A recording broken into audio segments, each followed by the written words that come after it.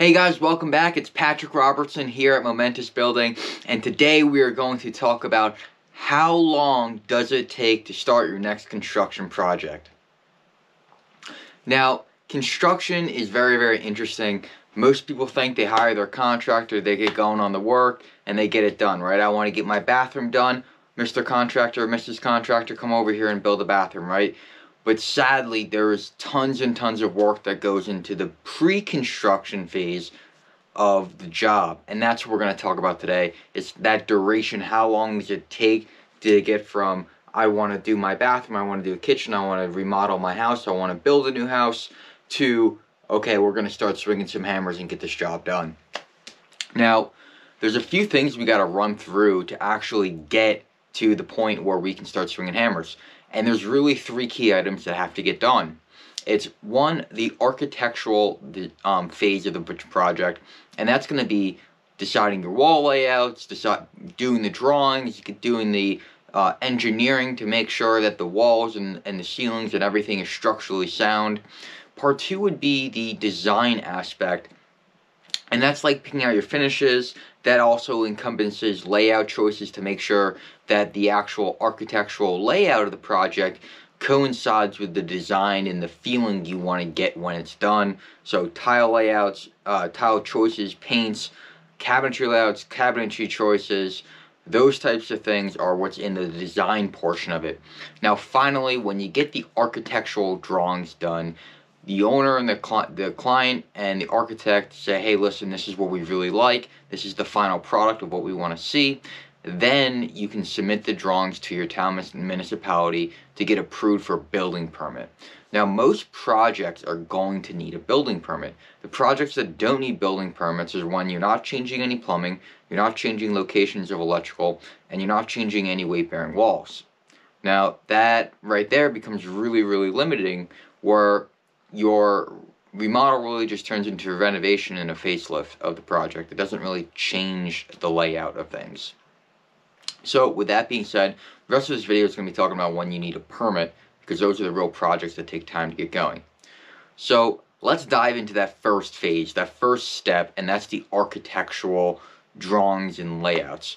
This step is really where you get the architect involved. Sometimes the architect is teamed up with a designer in-house, and maybe even your contractor will be doing this. So there's a lot of design build construction companies, there's a lot of contractors that actually bring architectural services in-house to do it as a holistic approach to really serve the customer from looking at it from multiple perspectives.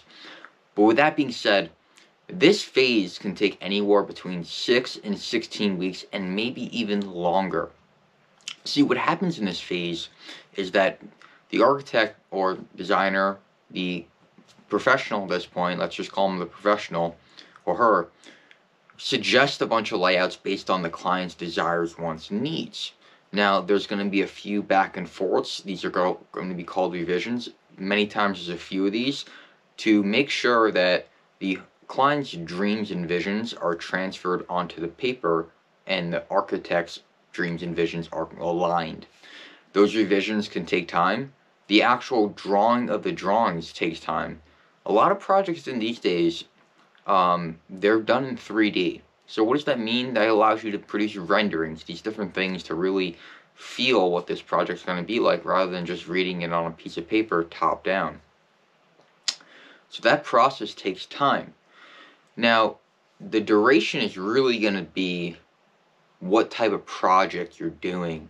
So if it's a simple bathroom model with, you know, some layout changes and you need these drawings for you need these drawings for permits, but it's nothing too crazy. This might only be a six week, four to six week process if there's very, very minor revisions and we're just going to push this to the town to get approval.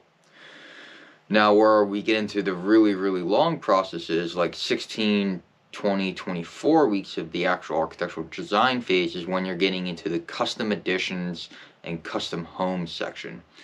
Those are going to take time because there's always going to be a bunch of revisions to make sure that the owner's dreams, goals, are transferred onto paper and co-align with the architect's dreams goals that he's trying to present to the owner. Now, as the house gets bigger, that time just expands. So we have this beautiful window on average, about 6 to 16 weeks. Now, during this time, is when the design of the project actually starts. The best way to design a project is from the beginning. And that means is that if you want a certain window or certain lighting brought in to design the, you know, to enlighten the room and everything, that goes in the architectural plans and drawings. If you want the bathroom to be a certain layout to get your certain tub in there, because maybe you want a freestanding tub that's bigger than a traditional 60 inch um, alcove tub, then those have those design elements have to be in there, right? If you want a curbless shower with a bench and these different things, maybe a lounge chair in there, we've, we've seen that, we've done that before, then that has to go in there with the architectural plans. So the design layout and painting that vision should really start in the architectural phase.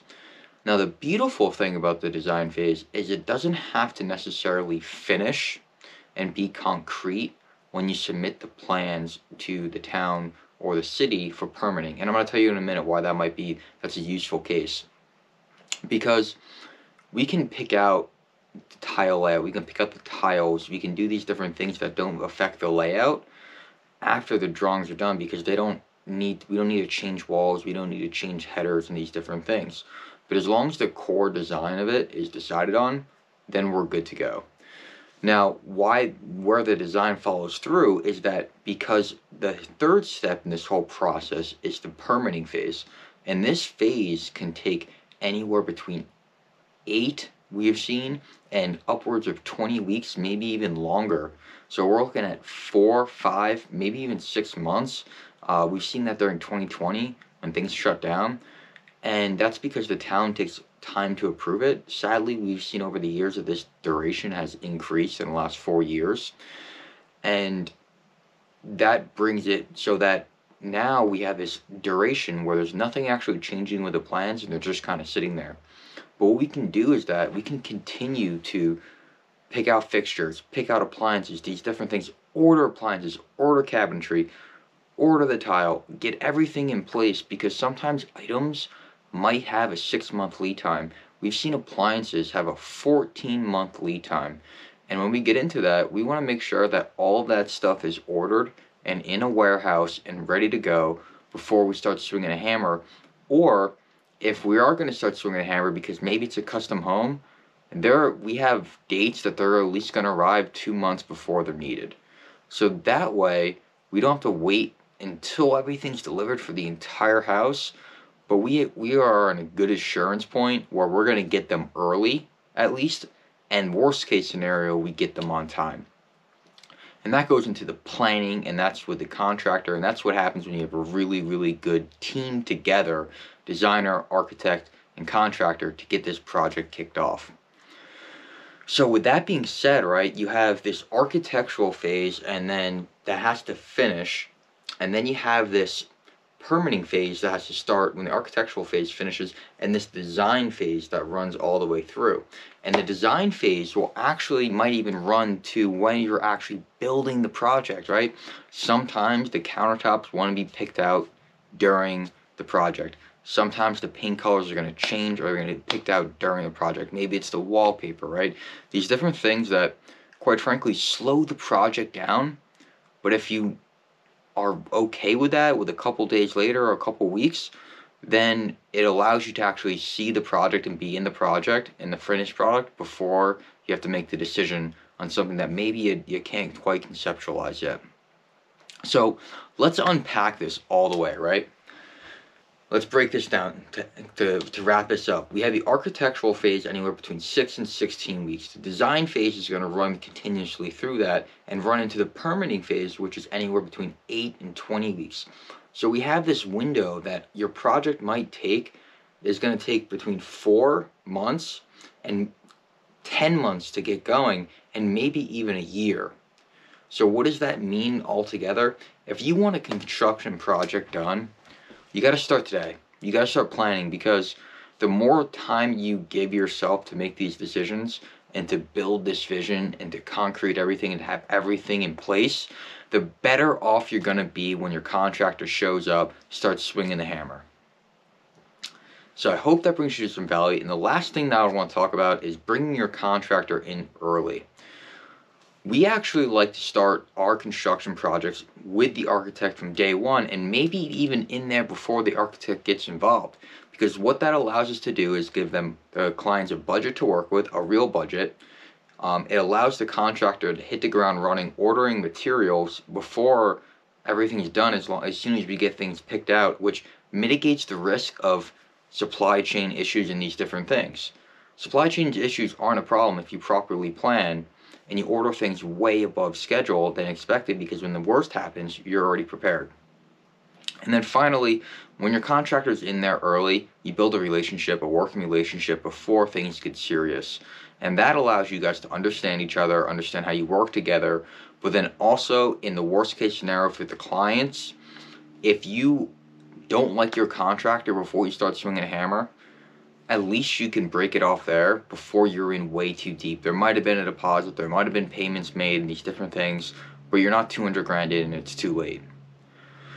So I hope you guys found some value.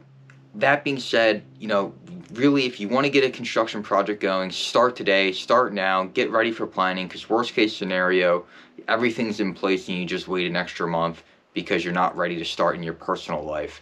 But it's better than waiting an extra month because your personal life's not ready rather than your personal life being ready and you ready to go and having to wait six months to get everything done. Guys, Patrick Robertson here, Momentous Building. Please give us a like, share, review, share this message. We're trying to grow the channel to educate homeowners and really bring that construction experience to be a smooth process uh, with one that's enjoyable. To bring joy, love, and connection back into the home. Take care, guys.